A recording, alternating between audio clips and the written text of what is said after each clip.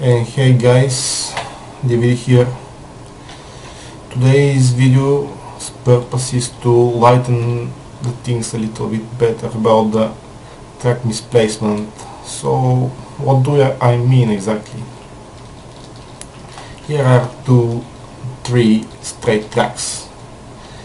But if the model is bad some of those can skew a little bit that's why I've prepared this E2 script that I'm going to explain to you what it does.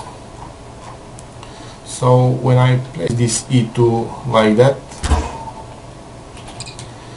you can see that it starts measuring the distance between the left and the right rail beam. Then subtract those and if this difference is less the model is good. And, and if in this this if the difference is great the model is not so good. Will be misplaced. So let's do the thing about Ron's rails here.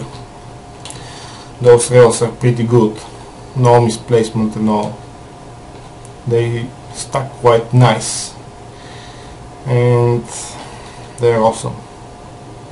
So about the E2 if I place it right here in every iteration it will get this distance that I'm talking about and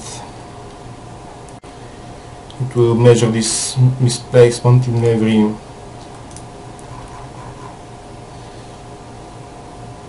in every delta of the Garry's Mod length units in this direction that I'm pointing at.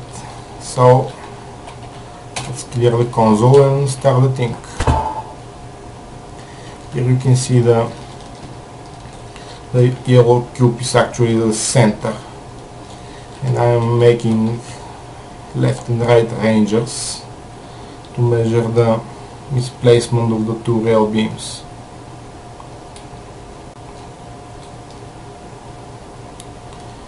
So this thing finishes guys.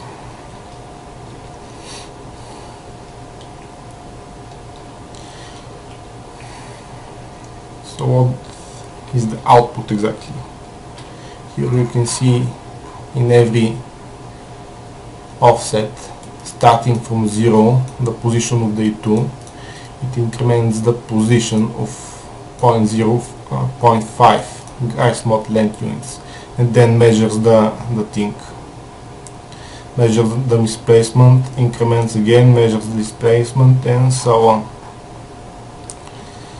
So, so guys, I'm gonna transfer the data to Excel and see you in a couple of minutes. And hi guys, I am back in Excel I got all the displacements about these three models in Garry's Mod. So let's talk about the displacements of Ron's rails here. So this is what a good model should be like. Why am I saying this? Here you can see at the left that misplace the values of the misplacements per Garry's Mod eh, unit are pretty small. Every model should be like this one here. Congratulations dude Ron.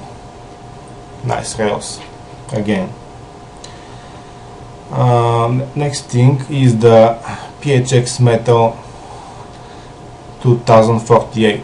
This model is very bad. Why? See the misplacements here. 0.25 to 0.05. No matter how precise I want to place the points about this model it should always be bad. So that is the main reason guys because your models are misplaced. Some models are good some models are bad. And this is all about the misplacements. Here is the PHX Track 6, 16X this is the standard 16 length track with the PHX pack. This model is also quite good. You can see 5 to the power of 10 to negative 5 this is practically zero as this one here see? 6 to the power of 6 to 10 to the power of negative 5 this is a zero. Practically zero. Every model should be as good as this one. So I hope this video was useful for some of you who have questions about hey dude why my tracks are not snapping the way they should be? This is the main reason why this happens.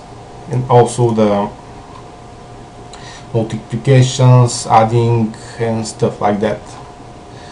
So if you get 2 multiplied by 2 this is not always 4 we, we have floats here.